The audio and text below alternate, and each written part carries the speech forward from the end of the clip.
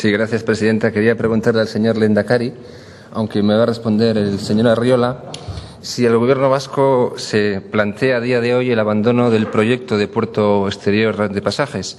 Creo que hay motivos de sobra como para que este Gobierno y todas las instituciones digan ya mismo que abandonan el proyecto y que efectivamente no se va a hacer.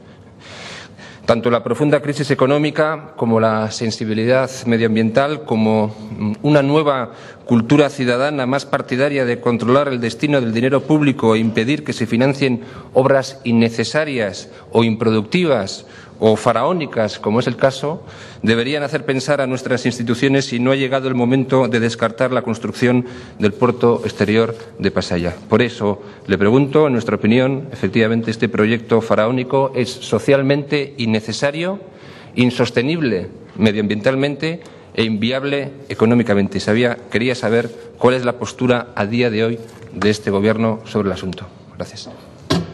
Gracias, señor Maneiro. A continuación tiene la palabra el señor consejero.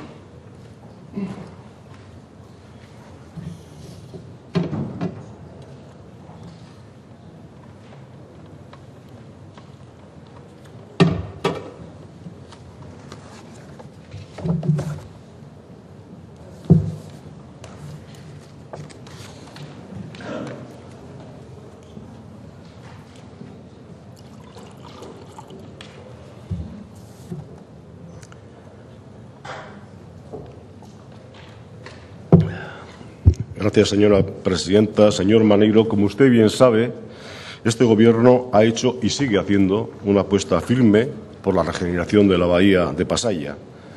Una apuesta que trata de conjugar el respeto al medio ambiente con el progreso y desarrollo, tanto social como económico, y todo ello desde el acuerdo y el consenso interinstitucional que debe presidir un proyecto de esta magnitud. Desde este consenso interinstitucional se hizo patente la necesidad compartida por el Ministerio de Fomento, el Gobierno vasco y la Diputación Foral de Guipúzcoa de la construcción de un nuevo puerto como la mejor manera de garantizar el cumplimiento de nuestro objetivo de regenerar la bahía, profundizando en un modelo territorial sostenible, equilibrado e integrado en las redes europeas de transporte. Este es el objetivo que perseguimos y este objetivo no se ha abandonado por parte de este Gobierno. Gracias, señor consejero. Yo, eh, humildemente, le apuesto una cena a que este proyecto finalmente no se hace. Y le voy a dar los datos y las razones por las cuales no debe hacerse y, además, no se va a poder hacer. Ya digo, es socialmente innecesario. Se puede regenerar la bahía sin hacer el puerto. Una cosa no depende de la otra. Es insostenible medioambientalmente. Se producen impactos ambientales críticos que son absolutamente inasumibles. Y es inviable económicamente.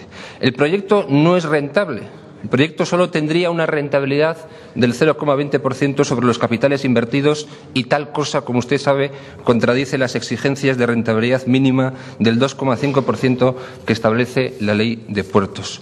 La fórmula de financiación es inviable jurídicamente, una fórmula basada en la supuesta venta de los terrenos del actual puerto en un conglomerado institucional. Las administraciones no pueden comprar suelo por encima de su valor. Ustedes hablan de una inversión requerida de 763 5 millones de euros, pero realmente es un dato falso, porque no se incluyen aquellas inversiones necesarias para conectar el nuevo puerto con las redes de carretera y ferroviarias. Estas serían obras del puerto, no obras de la provincia. Estaríamos hablando, por lo tanto, de más de 100 o 200 millones de euros. Las previsiones de tráficos e ingresos son inverosímiles, es decir, son el cuento de la lechera no tiene sentido nada. Además, este proyecto no tiene en cuenta la crisis. Por decirlo gráficamente, no hay barcos por ahí en espera eh, de ser captados. Es todo muy fantasioso. Si así fuera, estos barcos que pudieran andar por ahí estarían ahora mismo abarrotando los puertos más cercanos. Y no es el caso.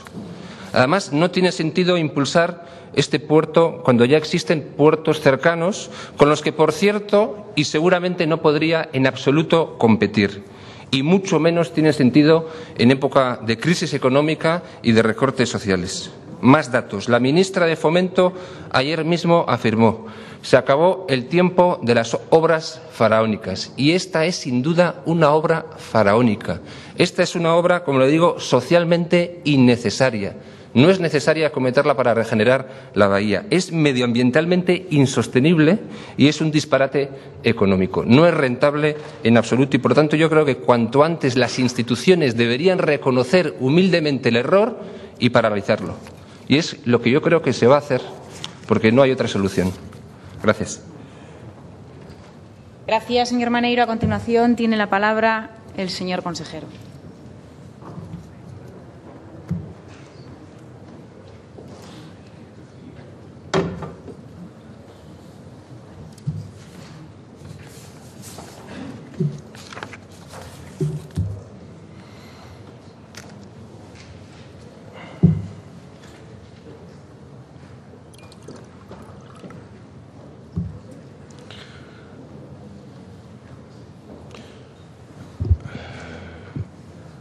Señor Maneiro, no sé lo que entiende usted por un proyecto faraónico. Este proyecto, en su dimensión actual, lo que pretende básicamente es reproducir en el nuevo puerto la capacidad de espacio que en estos momentos se incluye en el interior de la bahía. No es un proyecto que pretenda crecer desde el punto de vista de las capacidades de espacio disponible en el, nuevo puerto, sino que pretende mantener impulsar la actividad económica de Guipúzcoa por medio del puerto y mantener también la actividad económica y el empleo derivado de la actividad eh, ligada a eh, la economía portuaria. Por lo tanto, yo estoy convencido de que la ministra de Fomento, cuando se refiere a proyectos faraónicos, no se refiere específicamente al nuevo puerto de pasajes. Estoy absolutamente convencido. Decirle también que este proyecto se podrá llevar a, cabo en la medida de que seamos capaces de mantener consensos interinstitucionales. Es un consenso interinstitucional que se consiguió en la pasada legislatura y que en esta legislatura está en estos momentos más en solfa como consecuencia de las decisiones que se han venido adoptando por parte de la Diputación Foral de Guipúzcoa. Pero son decisiones que contradicen lo que la mayoría de las juntas generales del territorio de Guipúzcoa han manifestado tanto en la pasada legislatura como en esta legislatura. En esta legislatura, el 5 de octubre del año 2011, las Juntas Generales ratificaron por mayoría la apuesta estratégica a favor del nuevo puerto de pasajes y también de la plataforma intermodal de Lezo Gainchurisqueta. Son resoluciones que este Parlamento también ha aprobado por mayoría y que como Gobierno compartimos y queremos impulsar. Lógicamente, para que esto pueda ser una realidad, necesitamos ese acuerdo interinstitucional, una herramienta de gestión compartida por el conjunto de las instituciones y firmeza y voluntad política para llevar adelante. Estamos hablando de un proyecto de envergadura y de trascendencia para el futuro de Guipúzcoa y del conjunto de Euskadi. Sabemos que los tiempos económicos que vivimos al día de hoy no son unos tiempos que acompañen precisamente la oportunidad de los esfuerzos compartidos y colectivos que tenemos que realizar. Pero lo importante es tener claro el objetivo, lo importante es tener claro el proyecto, tener la tramitación oportuna de todo esto y conjugar el objetivo económico con, el, también el objetivo que tenemos de respeto a las medidas medioambientales. Si somos capaces de mantener el objetivo político intacto y además hacer un proyecto que sea compatible con lo que supone el interés económico y el respeto medioambiental, sin duda habrá tiempos y posibilidades que permitan que este proyecto pueda ser una realidad. Y la cena, si establecemos un plazo, igual se la juego.